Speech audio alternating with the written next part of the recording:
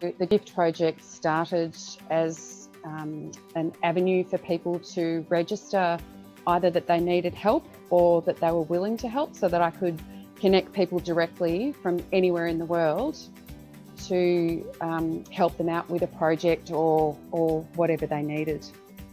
New Year's Day 2020, I donated some towels to a wildlife shelter in Victoria and I went on a tour of the sanctuary, got talking to the owner, and uh, she needed some help setting up a medical centre. So I used Facebook to put out a call to collect basic things like syringes and needles and whatnot, and it kind of all just grew from there. And in my work as an anaesthetic nurse, I had started collecting the AAT mats, um, thinking that they would be good for wildlife rescue. And again, put out a Facebook post um, and sent out a lot of those. And then I got in touch with Haines. Yep. There are approximately 20,000 rescuers and carers across the country in every state. Um, so the, the scope for this program is huge because we've only just begun. We've sent out 164 um, and I've got people waiting on a list to get more. So, you know, the more people that hear about this, the more that get in touch and, and I'm sending them out um, several times a week now. We've now got Maggie Van Santen, who's a registered wildlife carer in WA. How are you, Maggie? I'm good, thank you, Simone. How are you? I'm good. Tell us about uh, your charity and uh, who you've got there on your lap. Um, well, I run a registered charity which is called Amaris Wildlife Sanctuary. Um, this is little Jeddah and her name means pretty girl. She came to me last week. Um, her mum was killed in a car accident a few months ago.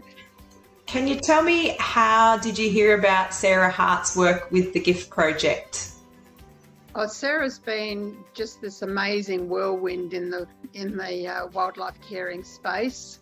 Um, to have somebody on board like her, um, and she allows us just to do the caring when she does like a lot of the other work. You are awaiting your first delivery of air transfer mats. They're at the post office now. Is that right?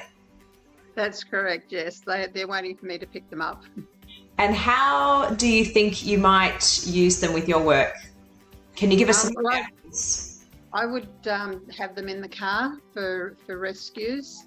Um, just a couple of examples. Just recently, we had a fence hanger that was just up the road. Um, she was probably about 15, 20 kilos. So that would have been so much easier to transfer her. Um, when you say fence hanger, just for people who don't work in rescue, what's a, fan- a fence hanger and what, what was her injuries? A, a fence hanger is a kangaroo that tries to jump a fence and then gets caught in the wires. Um, she ended up having a broken hip and two broken legs. Wow. Um, so we would have been able to put her on the mat and bring her back here, and well, she did have to be euthanized. Um, the other time, one of mine got out and she broke her leg, and she was a kilometre away from home. So the, the transfer mat would have been so much easier to get her back home. Mm and easier for you, but also more comfortable for the animal to be handled that way in multiple. Yeah, a lot more comfortable because when you're carrying them, you could end up hurting them a lot more. So that you could get them on a mat where they would be still, mm. um, it and would be a lot easier. Mm. So I think everybody, every carer should have one because we all come in contact with having to uh, to rescue a, a larger um, Joey, whether it's through a um, through road trauma, through shootings, um, through hanging in fences. I mean, we all come across the larger animals, and they're the hard ones to to manoeuvre and to move around. So having one of those mats in the car on hand, I think would be just so beneficial for everybody. Well, Jade has been very well behaved for the camera, so I think she likes it. Yeah, I think so too. Her first introduction. I hope she goes well. So cute. Awesome. Well, hopefully through this video we can help you spread the word and um, help Sarah spread the word and get more donations coming your way it's amazing work. We'll talk to Laura DeLacy, who's the Product and Solutions Lab Manager at Haines Medical Australia. Welcome, Laura. From your perspective at Haines, uh, being the manufacturers of single patient use air transfer mats, how do you see this environmental partnership that you've got with the GIFT project? How do you see it benefits you guys? It's an enormous benefit. Um, the the thing with the air mats is it's an interesting product because they are a multi-material product, which means they can't easily be recycled. So with a product like that, it's it's difficult to find a way to repurpose or, or reuse it. And we were very lucky when Sarah got in contact with us um, about this project because sometimes, I mean, even if we'd have all put our heads together to think of the best, you know, way, you know, what we can do with this product, you know, to to reuse it, we wouldn't have wouldn't have thought of this. But it's just the most brilliant use of our product. Yeah, it'll be really exciting to see how it all how it all evolves and and the difference it makes for um, rescue workers and um, and the hospitals as well. What was it that made Haines uh, get on board with the GIFT project? Yeah, we jumped on board at this opportunity. Uh, when Sarah first phoned us, we couldn't believe our luck because we are always looking for ways to repurpose or reuse, the, particularly those products that can't be recycled. Uh, and we are all really acutely aware here that the healthcare sector, um, you know, has a very big environmental impact, a big footprint. Um, I believe it's responsible for about 7% of uh, carbon emissions in Australia alone. So it really has a big impact. So things like this, giving hospitals a means to help them achieve their sustainability targets and KPIs, um, it's a win-win for everybody. Well, with our air transfer devices, they are predominantly used with a single patient, uh, and by the, the end of a patient's stay, they're uh, they are usually completely unsoiled. So they're completely fit for purpose. Uh, it's just they, they can't be used with another patient. So that opens it up to, uh, to being used in another capacity and using it for animals is just the perfect fit for that. Um, they don't yeah. have to be sterile, they're used in the bush right. ground.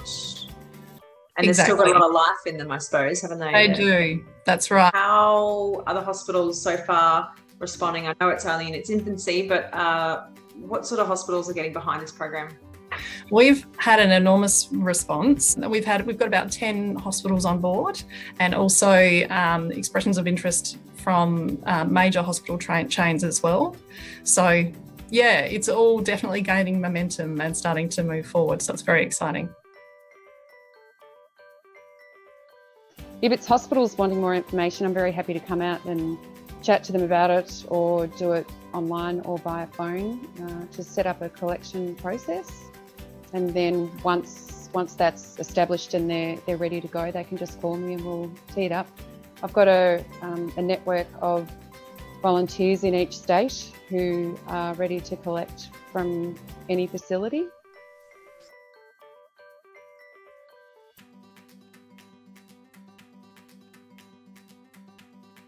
Most facilities have a sustainability manager and sustainability champion. So I'm finding that particularly in theatre and day surgeries. Um, that's where the main use tends to be.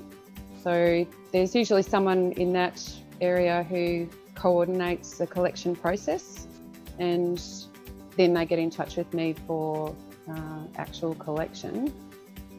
So I got in touch with Melbourne Zoo. Uh, they do a lot of marine rescue um, and uh, they are really excited to be receiving a donation of air transfer mats to use for uh, marine rescue and great apes. They're finding really useful, not only as a transfer mat, but as a thermoregulator during surgery for, um, for large animals. As long as they're not soiled with body fluids, then they're fine. It doesn't matter if they have a bit of chlorhex or betadine uh, on them. Most of them get used once and they have a sheet on top. So when we get them, they pretty much look brand new. And when you think about the circumstances in which they're used, rescuers are using them in, you know, out in the bush, in dirty environments, and they're being dragged along the ground and, and handled, um, you know, with unsterile animals on them, so they're not worried at all. There tends to be um, a, a, collection champion, really, who coordinates it within their facilities. So I ask that the facility gets them all into one place because there are volunteers picking them up. I, I'm trying to make this as easy as possible and as streamlined as possible. So to this point, hospitals have been sending them to one point, whether that be hospital reception or their, you know, their loading area, so that we can just drive up and take them from one collection point. And that's been working well.